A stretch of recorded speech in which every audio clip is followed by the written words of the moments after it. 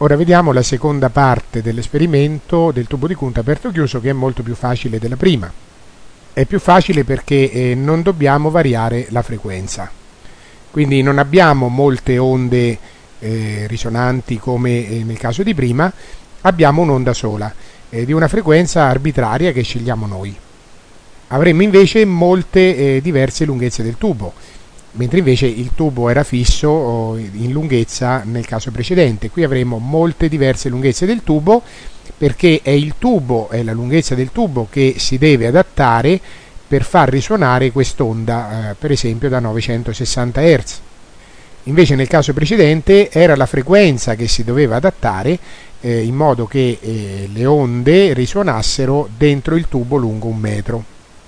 Quindi avendo una sola frequenza abbiamo un'unica lunghezza d'onda a differenza di prima e la possiamo calcolare con la solita formula per cui eh, questa lunghezza d'onda è circa 35,4 cm nell'esempio della frequenza a 960 Hz. Ricordiamo adesso qual era la condizione mh, da rispettare affinché un'onda eh, risuonasse all'interno del tubo aperto chiuso. La condizione era che dalla parte aperta doveva esserci un nodo di pressione, dalla parte chiusa un antinodo di pressione. Ora, se noi eh, per esempio mh, mettessimo il tappo all'estremità come facevamo prima, allora eh, vediamo che l'onda, eh, questa onda particolare, non risuonerebbe nel tubo perché eh, il tappo all'estremità non corrisponde a un antinodo di pressione. Il tappo va messo invece un po' rientrato all'interno del tubo, va messo in posizione per esempio L6. Qui sì che c'è un antinodo di pressione, oppure possiamo mettere il tappo a chiudere il tubo eh, in posizione L5, in L4, cioè dove sono gli altri antinodi. Partiamo da sinistra, quindi dalla prima posizione utile e, e mettiamo il tubo qui dove è il primo antinodo. Mettiamo quindi il tappo in posizione L1 e ci chiediamo quanto è lungo il tubo di Kundt in questo caso? Beh, è molto corto perché eh, parte da qui e finisce qua, è un tubo di pochi centimetri. Quanti centimetri precisamente? Eh, sarebbero 8,9 centimetri, poi vediamo perché meno 1. 8,9 centimetri perché è un quarto di lunghezza d'onda. Infatti il tubo parte da qui, finisce di qua e è lungo esattamente un quarto di lunghezza d'onda. Siccome la lunghezza d'onda era 35,4 cm, un quarto di lunghezza d'onda è 8,9 cm. Infatti ho scritto che la prima lunghezza adatta del tubo L1 è un lambda quarti. Ora vediamo perché il meno 1 cm. Perché abbiamo detto che mh, mm, se fosse veramente 8,9 cm, però agli occhi delle onde sonore eh, stazionarie all'interno del tubo, il tubo apparirebbe più lungo di un centimetro eh, nella parte aperta e quindi eh, di fatto il tubo sarebbe lungo 9,9 cm. Se noi vogliamo che il tubo di fatto oh, sia lungo un quarto di lunghezza d'onda, 8,9 cm, dobbiamo togliere questo centimetro perché poi sarà l'onda a vedere un centimetro in più.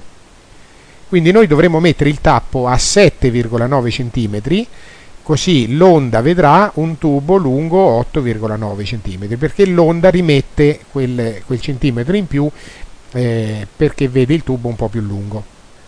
Ora proseguiamo con lo stesso discorso oh, cercando la seconda lunghezza risonante del tubo.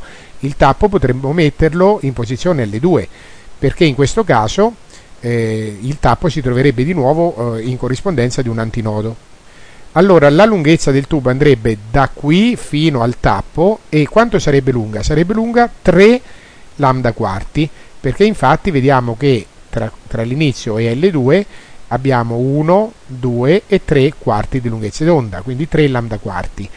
Quindi 3 volte 8,9 cm però eh, sempre meno un centimetro oh, perché altrimenti tu, il, le onde vedrebbero un tubo più lungo di, di questo valore. Quindi dobbiamo mh, prendere una posizione di L2 25,6 cm poi le onde ci rimetteranno quel centimetro in più per arrivare a 26,6 proseguiamo stesso ragionamento L3 terza posizione del tappo eh, quante, e quanti quarti di lunghezza d'onda devono starci nel tubo dall'inizio fino al tappo L3 1, 2, 3, 4, 5, 5 lambda quarti.